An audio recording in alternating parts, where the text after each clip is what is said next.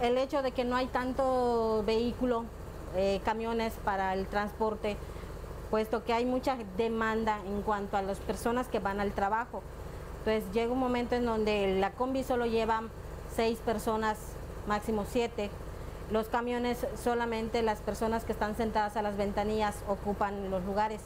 Entonces todavía queda mucha gente esperando a que pase un camión disponible o asientos disponibles para que puedan llevarte al centro. Entonces eso sí nos crea un poquito más de complicación de nosotros como personal adquirir un camión para irnos al, centro de trabajo. Yo me tengo que levantar más temprano para poder llegar a tiempo por el tiempo de espera del camión. Muy buena idea porque realmente nos beneficia mucho a nosotros como personal de la salud. Eh, nos, nos beneficia en qué sentido? En que ya no nos sentimos agredidos o evitamos el riesgo de ser agredidos por otras personas. El tiempo de espera, porque es un, es un camión exclusivo para el personal que nos lleva a nuestro centro de trabajo. Y esa, pues la comodidad más que nada, porque pues realmente todos, todos los que vamos a estar acá somos personal de salud.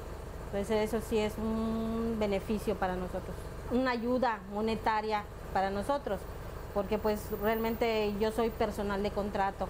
Entonces eh, yo dispongo de lo que yo gano, no tengo, se podría decir que tengo que estar jalando y viendo cómo me resulta ¿no? el pagar camiones. Mayormente del camión para mi trabajo y de mi trabajo para mi casa gano gasto 32 pesos diarios. Entonces con esta ruta me sale más económico el transportarme a mi trabajo porque es gratuito. Literalmente me voy a ahorrar los 32 pesos que antes gastaba uh, para mi trabajo.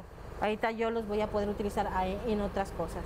El que les han tirado cloro, les han tirado café, les han tirado agua hirviendo, eh, se ha subido a un, a un transporte público y le, se han quitado del lugar donde estaba ella, como diciendo, pues parece que tiene un, una enfermedad que pudiera contagiar, ¿no?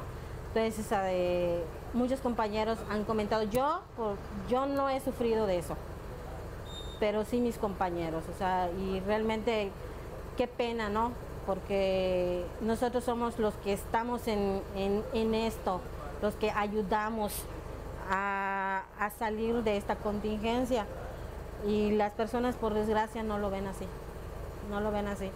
Creen que por el hecho de trabajar en un hospital yo ya estoy infectada, como ellos, muchos gritan, ¿no? Estás infectada porque eres enfermera, porque eres doctor, porque eres, trabajas en el centro de salud. Si toma las medidas que el gobierno del estado y la Secretaría de Salud está promoviendo por la televisión, internet, radio, yo creo que todo esto va a disminuir. O sea, si tomas las medidas como debe de ser, lavarse las manos, usar cubrebocas cuando sales al centro o en cualquier lugar donde vayas, el uso de cubrebocas. Nosotros, ya sea gogles o caretas, cubrebocas, lavarse, como te digo, lavarse las manos, poner gel antibacterial, lavarte las manos cuando llegues a tu casa, cuando salgas, o sea, son cosas que realmente son primordiales en este caso. Sí nos beneficia mucho el, el hecho de pensar en nosotros, el hacer un, una ruta exclusiva para el personal de salud, pues nos ayuda mucho, ¿no? Y, tomando en cuenta que, que somos realmente la parte operativa de, de todo esto, ¿no?